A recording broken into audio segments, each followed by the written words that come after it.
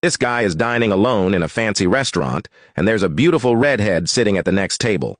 He's been sneakily checking her out ever since he arrived, but doesn't have the courage to start talking to her. Suddenly she sneezes, and her glass eye comes flying out of its socket toward the man. His reflexes kick in, and he reaches out, plucks it out of the air, and hands it back to her. The redhead is mortified. Oh my, I am so sorry, she says, as she pops her eye back into place. Let me buy your dinner to make it up to you. So he joins her table, and they enjoy a wonderful meal together. Afterwards, they go to the theater, followed by drinks at a bar. They talk, they laugh, she shares her deepest dreams, and he shares his. She listens. After paying for everything, she asks him if he would like to come to her place for a nightcap. He says yes, and they return to her place. He ends up staying the night. The next morning, she cooks a gourmet meal with all the trimmings. The guy is amazed at how everything has been so perfect and how incredible this woman is.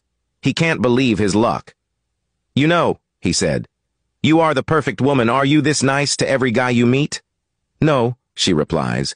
You just happen to catch my eye. Oh my god.